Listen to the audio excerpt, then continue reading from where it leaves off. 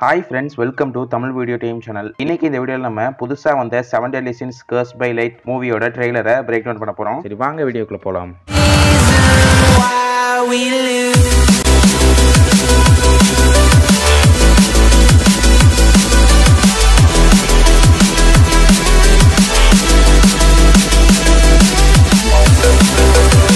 First இந்த மூவியை பற்றி சில டீட்டெயில்ஸ் பார்க்கலாம். இந்த மூவியோட டைரக்டர் டகையோகி ஹமானா இந்த ரைட்டர் வந்து ரின்டாரோ இக்கேடா இதை வந்து ஸ்டுடியோ டீன் தான் எடுக்கிறாங்க.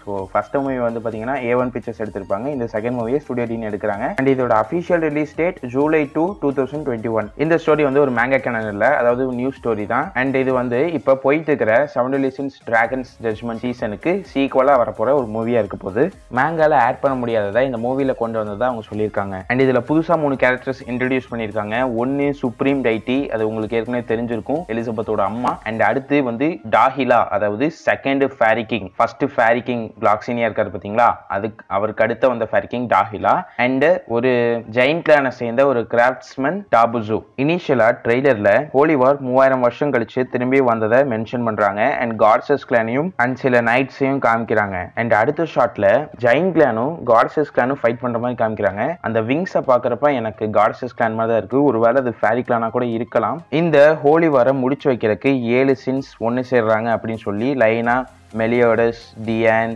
Ban King Gowther Merlin Escanor இந்த ஏழு பேரையும் காமிச்சிட்டு அண்ட் இவங்க தான் த செவன் டெட்லி சின்ஸ் அப்படின்னு காமிக்கிறாங்க.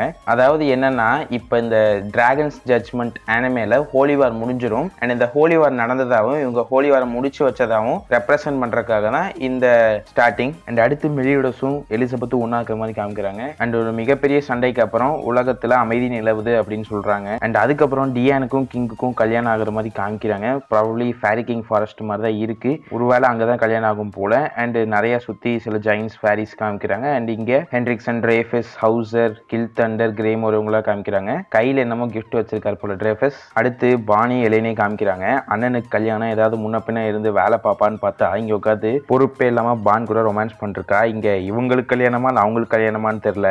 இவங்க பண்றதெல்லாம் பார்த்தா அப்படிதான் இருக்கு. அண்ட் அடுத்து கிங்கும் டியான் என்னமோ பண்ண மாதிரி காமிக்கிறாங்க. நான் கூட ஜூம் பண்ணி பார்த்துட்டு என்ன நினைச்சேன்னா கிங்கு வந்து டியானோட வாயவும் டியான் கிங்கோட தலையும் மோந்து பார்த்துட்டு இருக்கான்னு நினைச்சேன். அதுக்கப்புறம் உட்காந்து யோசிச்சதுக்கப்புறம் தான் தெரியுது. அவங்க கிஸ் பண்ணிட்டுருக்காங்கங்கிறது நீங்களே வந்து பார்த்து நியாயமான பதில் சொல்லுங்கள் இதை பார்த்தா உங்களுக்கு அப்படியா தெரியுது. என்னடா ட்ரெய்லர் இவ்வளோ சந்தோஷமாக போயிட்டு இருக்கே என்ன வில்லனோட என்ட்ரியே காணோம் அப்படின்னு பார்க்குறப்ப தான் திடீர்னு ஹபவர் அப்படின்னு போடுறாங்க. அண்ட் அப்போ வந்து ஒரு பறவை மேலே ஒரு மனுஷனும் ஒரு ஃபேரியும் பறந்த மாதிரி காமிக்கிறாங்க. இவ்வளோ டார்க்காக காமிக்கும் போதே தெரியலையா? இவங்க தான் வில்லன்ஸு அண்ட் இவங்க இந்த மாதிரி டீமன் வேர்ல்டில் டீமன்ஸை தாக்குற மாதிரி காமிக்கிறாங்க. அதுக்கப்புறம் ஒரு பேக்ரவுண்ட் வாய்ஸ் வந்து இந்த பேட்டில் இன்னும் முடிவுக்கு வரல. அப்படின்னு சொல்றது. Collapse of the demon world அப்படிங்கிற மாதிரி போட்டு காமிக்கிறாங்க. டீமன் வேர்ல்டு என்னமோ பெரிய பிரச்சனை போல. பிரச்சனைன்னே நீங்க யோசிக்க வேணாம். கண்டிப்பா வந்து இந்த ரெண்டு பேரும் தான் போய் அதை பண்ணியிருப்பாங்க. அந்த ஃபேரியும் அந்த பறவைக்கு மேல அந்த ஒரு மனுஷனும். அதுக்கப்புறம் அந்த வில்லன்ஸை வந்து தெளிவா இப்போ காமிக்கிறாங்க. மெலியோடஸ் எலிசபெத் கெல்டா அண்ட் செல்ரிஸ் அவங்க வாங்கினே வாங்கினேன் பத்திரிக்கை வச்ச மாதிரி கரெக்டா வந்துட்டீங்கண்ணே வாங்கினேன் எங்களோட புது உலகத்துக்கு உங்களை வரவே இருக்கிறேன் அப்படிங்கிற மாதிரி அந்த ஃபேரி சொல்லுது. அதுக்கப்புறம் தமிழ் படத்துல செத்து போன ஹீரோ திரும்பி வந்தனே வில்லன் சொல்ற மாதிரி வாய்ப்பு இல்ல நீ எப்படி திரும்பி உயிரோட வந்த அந்த மாதிரி மெலியோடஸும் இதுக்கு வாய்ப்பே இல்லை நீங்களா? அப்படிங்கிற மாதிரி கேட்குறான் அண்ட் இதுல இருந்து நமக்கு என்ன தெரியுதுன்னா மெலியோடஸ்க்கு இந்த வில்லன்ஸே ஏற்கனவே தெரியும் போல. அது மட்டும் இல்லாமல் இது டி ஒன் வேர்ல்டில் நடக்கிறதுனால இப்போ மெலியோடஸ் எலிசபெத் கெல்டா அண்ட் செல்ட்ரிஸ் மட்டும் தான் இருக்காங்க. வேற யாருமே இல்லை செவன் டெலிஷன்ஸை சரி இவ்வளோ பேசுகிறாங்களே இந்த வில்லன்ஸ் மூஞ்சியை காமிக்கலாமே அப்படின்னு சொல்லிட்டு காமிச்சாங்கன்னா அதான் நான் சொன்ன மாதிரி டாஹிலா அதாவது செகண்ட் ஃபேரிக்கிங் அதுக்கப்புறம் டாபுசு ஜெயின் கிளானை சேர்ந்த ஒரு மாஸ்டர் கிராஃப்ட்ஸ்மேன் இவன் தான் அந்த பறவைக்கு மேலே உட்காந்துருந்த மனுஷன். அதுக்கப்புறம் டாஹிலா ஹோலிவார ரூயின் பண்ணதுக்காக நீங்க பதில் சொல்லி ஆகணும் அப்படிங்கிற மாதிரி அவங்கள தாக்குறான். And நீங்க குரங்கு மாதிரி என்னமோ இருக்கு. அது என்ன அப்படிங்கறது எனக்கு சத்தியமா தெரியல. ஒருவேளை நம்ம கிங்குக்கு எப்படி அவனோட ஸ்பிரிட் ஸ்பியர் தலகாணி மாதிரி இருக்கோ இவனுக்கு இந்த குரங்கு வடிவில் ஒரு வேலை இருக்கலாம். அண்ட் அவனோட தாக்குதலால ஒரு மிகப்பெரிய வெடிப்பு ஏற்படுது. அதுக்கப்புறம் ஒரு டெக்ஸ்ட் வருது seven deadly sins final battle அப்படின்னு. உங்களுக்கே தெரியும் டிராகனஸ் ஜட்மெண்ட் தான் செவன் டெட்லி சீன்ஸோட கடைசி சீசன் அண்ட் அதுக்கப்புறம் வர்ற இந்த மூவி தான் செவன் டெட்லி சீன்ஸோட கடைசி மூவி அண்ட் அதனால தான் இதை ஃபைனல் பேட்டில் அப்படிங்கிறத மென்ஷன் பண்ணுறாங்க அதுக்கப்புறம் மெலியோடஸோட தலையிலையும் ஜெல்ட்ரிஸோட தலையிலையும் அந்த டீமன் பிளாக் மேஜிக் மார்க் வரதை காமிக்கிறாங்க. அதுக்கப்புறம் மெலியோடஸ் நாங்கள் எல்லாரும் ஒன்றா சேர்ந்து உன்னை தடுத்து நிறுத்துவோம் அப்படின்னு சொல்லி டாஹிலா கூட சண்டை போடுறான். அதுக்கப்புறம் ஜெல்ட்ரிஸ் மொத்த டீமன் வேர்ல்டையே நீ ஒருத்தனா அழிக்க நினைச்ச உன்னோட தைரியத்துக்காக நான் உன்னை எப்பயுமே ஞாபகம் வச்சிருப்பேன் அப்படின்னு டைலாக் சொல்லிட்டு டாஹிலாவை தாக்க போறான். அதுக்கு டாஹிலா நாங்க ஒன்றும் தனியா இல்ல அப்படின்னு சொல்லிட்டு ஓங்கி குத்து குத்துறான். குத்த வாங்கிட்டு செல்ரிஸ் பறந்து போய் கீழே விழுகிறான். அண்ணனும் தம்பி டைலாக் பேசுறானுங்களே ஒழிய செயலில் ஒன்றுத்தையும் காணும். ரெண்டு பேரும் அப்படியே ஸ்ட்ராங்கா நின்றுகிட்டு இருக்காங்க வில்லன்ஸ் அதுக்கப்புறம் இங்க டாபுசு என்னமோ ஒரு ஃப்ளூட்டு மாதிரி இருக்கிறத வாசிக்கிறான். தலைவர் அது மட்டும் இல்லாம வாசிக்கும் போதே பேசாரு நீங்க எங்க இருந்து வந்தீங்களோ அங்கேயே நான் உங்களை திருப்பி அனுப்ப போறேன் அப்படிங்கிற மாதிரி சொல்றாரு. இவர் வாசிச்சு ஜெயின்ஸ் எல்லாம் கண்ட்ரோல் பண்ணார் போல ஹியூமன் வேர்ல்டில் ஒரு செவுரை உடச்சிக்கிட்டு ஜெயின்ஸ் எல்லாமே மனுஷங்களை தாக்குற மாதிரி காமிக்கிறாங்க. அண்ட் அவங்க கண்ணுல தக்காளி சட்னி விழுந்துருச்சு போல கண்ணெல்லாம் சவப்பாக இருக்கு. ஒருவேளை இவர் வந்து ஃப்ளூட் வாசிச்சு எல்லா ஜெயின்ஸும் கண்ட்ரோல் பண்ணுவார் போல. இல்லைன்னா ஜெயின்ஸ் ஆன் ரேம்பேஜ் அப்படிங்கிற மாதிரி காமிக்கிறக்காக சவப்பாக காமிச்சிருப்பாங்க கண்ணை. அதுக்கப்புறம் எலிசபெத் இவங்க கூட சண்டை போட்டுக்கிறப்ப இவங்க ஹியூமன்ஸ் வேர்ல்டை தாக்குறாங்கன்னு தெரிஞ்ச உடனே வேகமாக போய் அவங்கள தடுக்க முயற்சி பண்ற மாதிரி காமிக்கிறாங்க.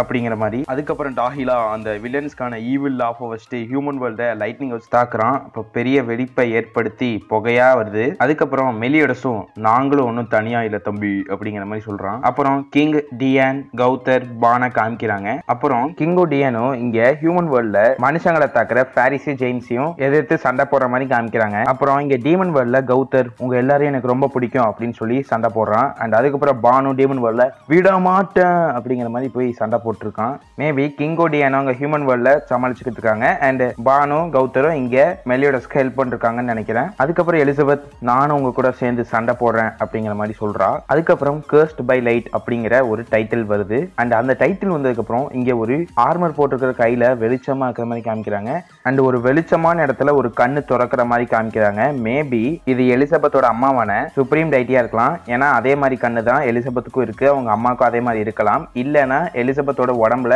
சுப்ரீம் டைட்டி வந்து இறங்கியிருக்கலாம். சரியா தெரியல பட் சுப்ரீம் டைட்டி இந்த மூவியில் வரதா சொல்லியிருந்தாங்க. அதனால தான் அது சுப்ரீம் டைட்டியா இருக்கும் அப்படின்னு நான் நினைக்கிறேன். அண்ட் அதுக்கப்புறம் ஒரு சீன் வைக்கிறாங்க.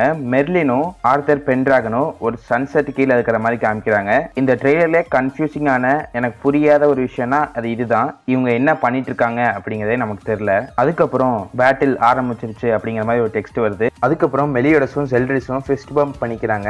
அண்ட் ரெண்டு பேருமே பறந்து சண்டை போட போறாங்க. போகும்போது வா செல்ட்ரிஸ் நம்ம ரெண்டு பேருமே சேர்ந்து இந்த கேர்ஸை முடிச்சு வைக்க போகிறோம் அப்படின்னு ரெண்டு பேரும் அவங்க ஸ்வாடை வச்சு ஸ்லாஷ் பண்ணுறாங்க அண்ட் கண்டிப்பாக அது வந்து ஃபைனல் ப்ளோவாக இருக்கும் அப்படிங்கிற மாதிரி நினைக்கிறேன். ஏன்னா ரெண்டு பேருமே ஒவ்வொரு சைடில் வச்சு அந்த ஸ்வாடை வச்சு ஸ்லாஷ் பண்ணுற மாதிரி காமிக்கிறாங்க. அண்ட் ஒரு மிகப்பெரிய வெளிச்சம் வருது. அண்ட் இதோட மூவியோட டைட்டில் போடுறாங்க seven deadly sins cursed by light அப்படின்னு. அண்ட் நான் ஏற்கனவே சொன்ன மாதிரி seventh of July this year வந்து இந்த மூவி தேட்டர் ரிலீஸ் ஆகுது. ஏன்டா நம்ம ஊரில் இந்த படம் ரிலீஸ் ஆகுமா அப்படின்னு நீங்கள் கேட்டிங்கன்னா நம்ம ஊரில் ரெட்டை இலை உதயசூரியனை தவிர வேற ஏதாவது கட்சி எலெக்ட் ஆகி வர்றது எவ்வளோ கஷ்டமோ அதே மாதிரி இந்த படம் நம்ம ஊர் தேட்டரில் ரிலீஸ் ஆகிறது ரொம்பவே கஷ்டம். அவ்வளோதான் இதோட இந்த வீடியோ முடிஞ்சிருச்சு. அட படுபாவி பயில ஒன்றரை நிமிஷம் ட்ரெயிலரை எட்டு நிமிஷமாக உட்காந்து பேசுவேன் அப்படின்னு உங்கள் மனசு நீங்கள் கேட்குறது புரியுது. சரி என்ன பண்ணுறது நானும் ஒரு ஆர்வத்தில் வாய்க்கு வந்ததெல்லாம் வளரிவிட்டேன். பட் என்னையும் சில பேர் நம்பி கடைசி வரைக்கும் வீடியோ பார்த்துருப்பீங்க. இந்த வீடியோவை கடைசி வரைக்கும் பார்த்த அனைவருக்கும் ரொம்ப நன்றி. இந்த வீடியோ உங்களுக்கு பிடிச்சிருக்கும்னு நம்புகிறேன் இந்த வீடியோ உங்களுக்கு பிடிச்சிருந்துச்சுன்னா லைக் பண்ணுங்கள் ஷேர் பண்ணுங்கள் கமெண்ட் பண்ணுங்கள் மறக்காம சேனலை சப்ஸ்கிரைப் பண்ணுங்க. இந்த வீடியோவில் நான் மென்ஷன் பண்ணாத ஏதாவது உங்களுக்கு தெரிஞ்சிருந்துச்சுன்னா ட்ரெய்லர்ல ஹிடன் டீடைல்ஸ் மாதிரி மறக்காம அது கீழே கமெண்ட் பண்ணுங்கள் சரி அடுத்த வீடியோவில் பார்க்கலாம். Bye guys see you later. Number one to get it, bro.